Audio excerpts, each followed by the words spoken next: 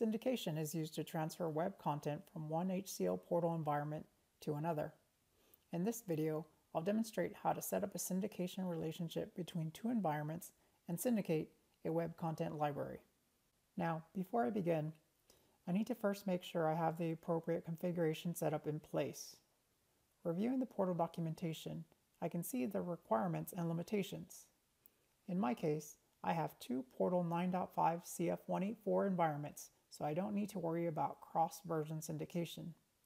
My library will be a small test library, so I should have enough disk and memory space.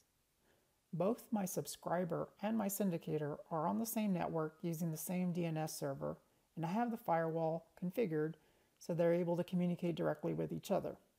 The library I'm going to syndicate does not already exist on my subscriber. Finally, one last note. This isn't a requirement, but a more good to know.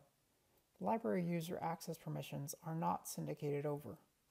The desired user permissions need to be configured after syndication on the subscriber.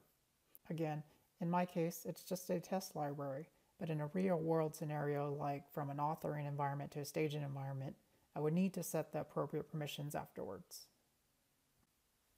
Okay, let's begin. As mentioned previously, I have a couple of 9.5 CF184 environments. One is my authoring and the other is my rendering environment. For this video, I will syndicate a WCM library from my authoring to my rendering environment. So my authoring server will be the syndicator and my rendering server will be the subscriber. Here's my authoring environment. If I navigate to the WCM libraries, you can see I have created the syndication demo library. This is the library I want to syndicate over.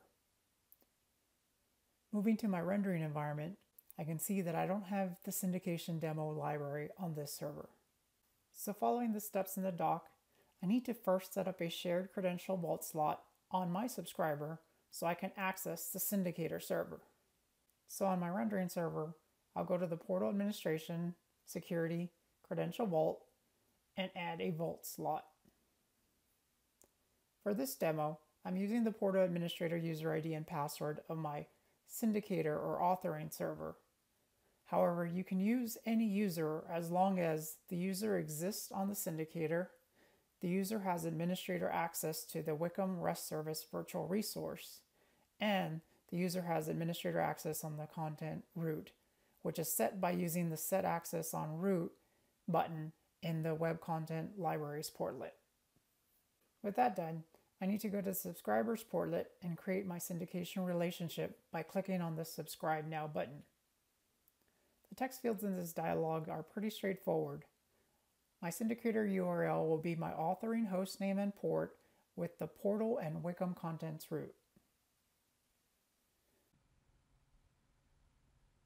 I'll use authoring syndicator and rendering subscriber as the names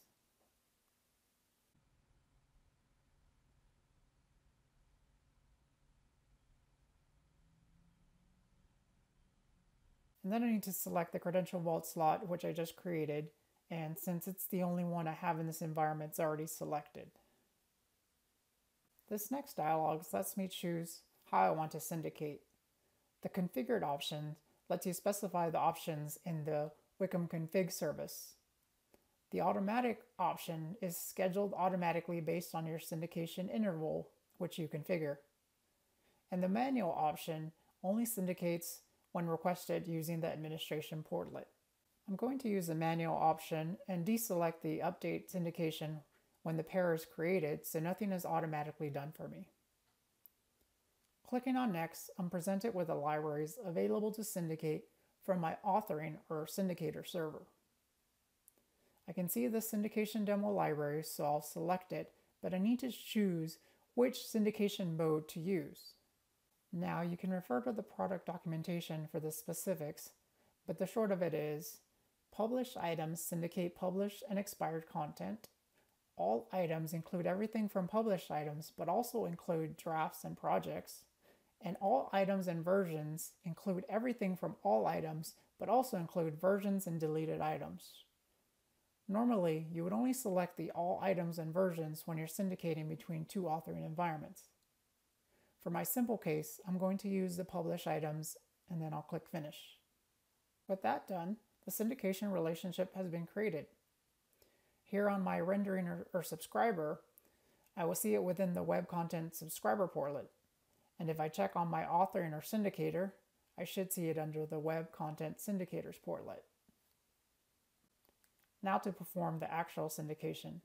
Since I chose manual, I can click on the Update button to perform the syndication. I have the option to perform an update or a rebuild. You can refer to the table back in the product documentation to see exactly what is syndicated with each option, but in my case, I'll just use update and kick off my syndication. Depending on the library size, syndication can take anywhere from a few seconds to hours. You can use the refresh button to check the status. Once it's complete, I can see the summary by clicking here under the last update column. Now if I go to the Web Contents Library portlet, I can see my new syndication demo library in my rendering environment. This concludes this video on setting up a syndication relationship on HCL Portal 9.5 CF184.